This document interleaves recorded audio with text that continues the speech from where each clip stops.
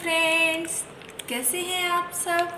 मैं आशा, यही आशा करती हूँ आप सब लोग मस्त होंगे और स्वस्थ होंगे। तो गाइस अभी बज रहे हैं सुबह के नौ और मैं ना पूरे काम से हो गई हूँ, बिल्कुल रेडी मेरी पूजा हो गई है और मैंने नहा भी लिया है और ब्रेकफास्ट में मैं बनाने जा रही हूँ सूजी का हलवा। क्योंकि ना मेरे ना क्रिस को सूजी का हलवा खाना है, उसकी थोड़ी तबीयत सही नहीं है, उसको फीवर आ रहा है।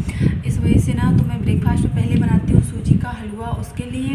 और फिर मैं बनाने जा रही हूँ आज स्पेशल लौंजी की सब्ज़ी, क्योंकि आजकल ना गर्मियों का सीज़न काफ़ी चल रहा है तो मार्केट में कैरी बहुत आ रही है। और ना हर किसी के घर में भी कैरी ना कैरी ज़रूर आती होंगी। कोई चटनी बना रहा है या कोई कुछ बना रहा है तो फिर मैं आज लौंजी की सब्ज़ी बनाने जा रही हूँ। और उसकी रेसिपी मैं आज आप सब लोगों के सामने शेयर करूँगी।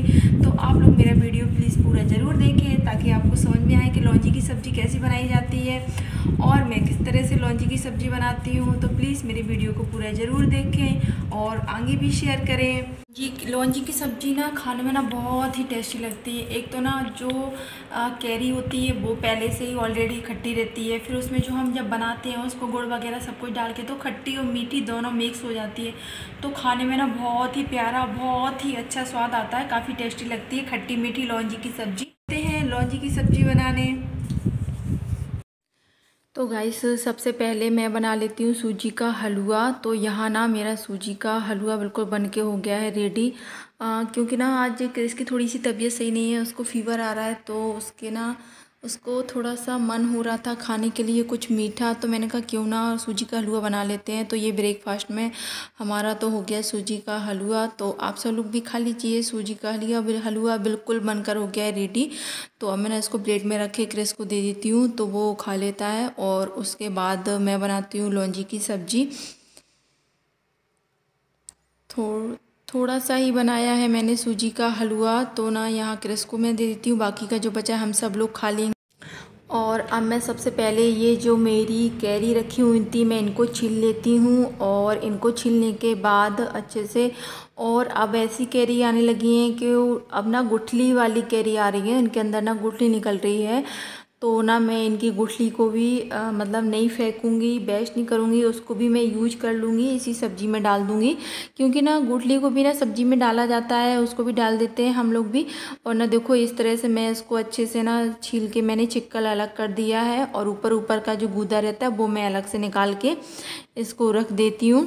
तो यहाँ मेरी कैरी, छिलकर और कटकर हो गई है, बिल्कुल रेडी तो सबसे पहले मैं इसको धो लेती हूँ, क्योंकि ना मैंने ना कैरी ना धोकर रखी थी, पर फिर भी ना मैं इसको ना छीलने के बाद, काटने के बाद ना मैं इसको और अच्छे से धो लेती हूँ, क्योंकि आजकल बीमारी इतनी फैल रही है तो काफ़ी डर लगा रहता है अंदर से।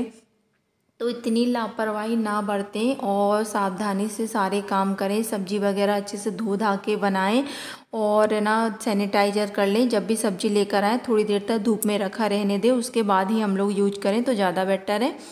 तो यहाँ मेरी कैरी छिलके धो के रख दी थी, अब मैं यहाँ निकाल लेती हूँ मसाले। तो यहाँ मैंने निकाला है वन स्पून सौंप और वन स्पून ये जीरा और हाफ़ स्पून लूँगी मैं यहाँ पे मेथी दाना। तो ये तीनों चीज़ें मैंने यहाँ पर ले ली हैं। आप देख सकते हैं, मैंने प्लेट में रखी हुई हैं तीनों चीज़ें। अब ना, अब इसके बाद ना मैं इन तीजों चीज़ों से ही उसका मतलब सब्ज़ी को बनाऊँगी।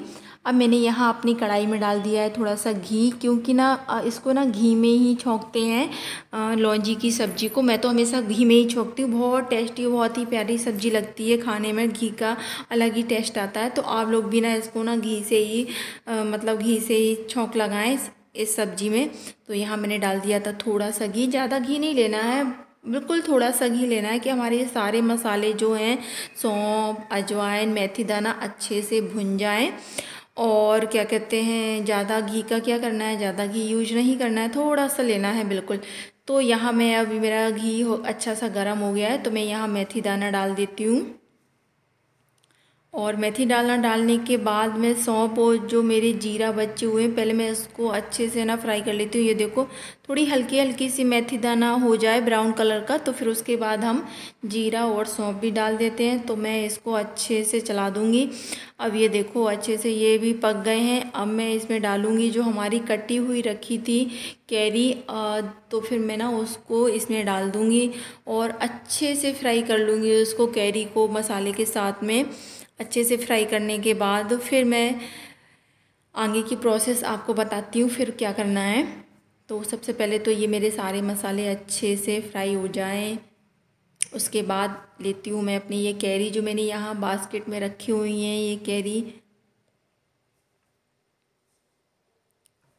अब मैं अपनी ये कैरी को यहाँ डाल देती हूँ, फिर मैं अच्छे से इनको मिक्स कर लूँगी और अच्छे से फ्राई कर लूँगी। ताकि ये सारे मसाले में अच्छे से फ्राई हो जाए।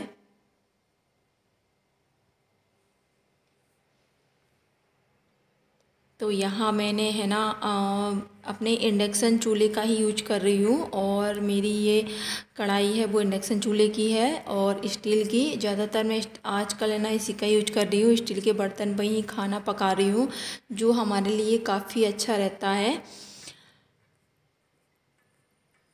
तो इसको ना मैं बिल्कुल धीमी धीमी गैस पे ना इसको मैं अच्छे से पका लेती हूँ।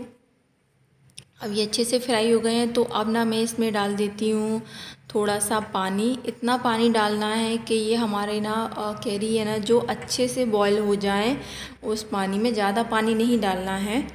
थोड़ा सा ही पानी डालना है तो यहाँ मैंने ना थोड़ा सा पानी डाल दिया है। अब ये मैं ना ऐसे ही इसको मतलब बस ऐसे ही छोड़ दूँगी। अब ये इसको ना जब तक वो, जब तक इसको ना बॉयल हो जाए, ये अच्छे से मेरी कैरी इसी में पानी में और उसके बाद फिर मैं आगे की प्रोसेस आपको बताती हूँ, फिर आगे क्या करना है। और यहाँ मैंने गुड़ निकाल के रख लिया है, क्योंकि ना मैं दोनों चीज़ें यूज़ करती हूँ, गुड़ और शक्कर भी। आप लोग है ना, दोनों चीज़ें यूज़ कर सकते हैं। अगर आपको नहीं करना है, एक चीज़ यूज़ करना है तो आप एक चीज़ यूज़ कर सकते हैं। और यहाँ देखो मेरी कितनी अच्छे से बॉयल हो रही हैं, ये मेरी कैरी तो मैंने यहाँ पर थोड़ा सा गुड़ डाल दिया है और थोड़ी सी लूँगी मैं इसमें शक्कर। तो थोड़ी सी मैं यहाँ पे शक्कर भी डाल दूँगी। तो मैं दोनों चीज़ें यूज़ करती हूँ। आप लोगों को जो चीज़ यूज़ करना है, कर सकते हैं। दोनों करना है तो दोनों कर सकते हैं।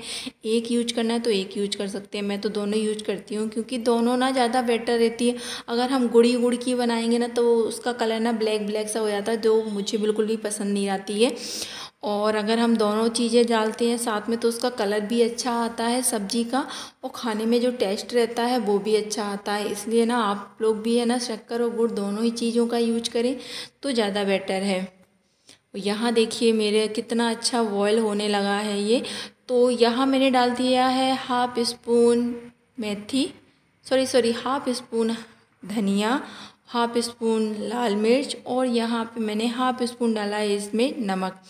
तो यहाँ मैंने मसाले डाले हैं, धनिया पाउडर और मिर्ची पाउडर और नमक। तीनों चीज़ें डालने के बाद मैं इसको अच्छे से ऐसे फ्राई कर लूँगी। और ये यहाँ अच्छे से देखो बॉयल भी होने लगा है। अब मैं इसको देख लेती हूँ, अगर मेरी ये सब्ज़ी, ये कैरी जो हैं, पक गई हैं अच्छे से या नहीं पकी हैं। अच्छे से कितना अच्छे से बॉयल हो रही हैं ये मेरी कैरी बस थोड़ी सी टाइम थोड़ा सा टाइम और लगेगा इसको बनने के लिए। और यहाँ मैंने चेक कर लिया है इसको अच्छे से कि ये पक गई है या नहीं। तो यहाँ मेरी सब्ज़ी जो बन के हो गई बिल्कुल रेडी ज़रा सा भी टाइम नहीं लगा, काफ़ी जल्दी बन जाती है और ये मेरी सब्ज़ी बनकर बिल्कुल रेडी हो गई है। आइए, आप सब लोग भी खा लीजिए टेस्ट करिए कैसी बनी है।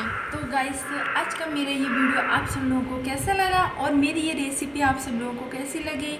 और एक बार घर में ज़रूर ट्राई करना वीडियो को पूरा ज़रूर देखना तो आपको समझ में आएगा कि लौजी की सब्ज़ी कैसी बनाई जाती है। तो आप सब लोग भी घर में बनाना ट्राई करना और मज़े से खूब खाना। तो प्लीज़ कमेंट्स में ज़रूर बताना कि वीडियो और मेरी रेसिपी कैसी लगी। आज आप सबको उम्मीद करती हूँ कि आज का मेरा ये वीडियो आप सब लोगों को बेहद पसंद आया होगा। अगर अच्छा लगे तो प्लीज़ लाइक ज़रूर कर देना और अगर आप मेरे चैनल पर न्यू हैं तो सब्सक्राइब करें। और बेल आइकन को प्रेस करना ना भूलें, ताकि मेरे new blogs and new video की नोटिफिकेशन आप तक आती रहें और आप उन्हें देखते रहें। और प्लीज़ इसी तरह सपोर्ट करते रहें और मेरे चैनल को और आगे आगे बढ़ाते जाएँ। और मेरे वीडियो को प्लीज़ पूरा ज़रूर देखा करें। प्लीज़ सपोर्ट करें मेरे चैनल को। बहुत ज़्यादा सपोर्ट की ज़रूरत है। आप सब लोगों के सपोर्ट के बिना कुछ नहीं हो पाना है। तो प्लीज़ आप सबके सपोर्ट की बहुत बहुत ज़्यादा ज़रूरत है। तो आप लोग प्लीज़ मेरे चैनल को सपोर्ट करें और मेरी वीडियो को रोज़ देखा करें। तो और अपना बेहद ख्याल रखें और सेफ़ रहें और सुरक्षित रहें घर में। तो फिर मिलते हैं एक next blog and next video के साथ। तब तक के लिए take care and bye bye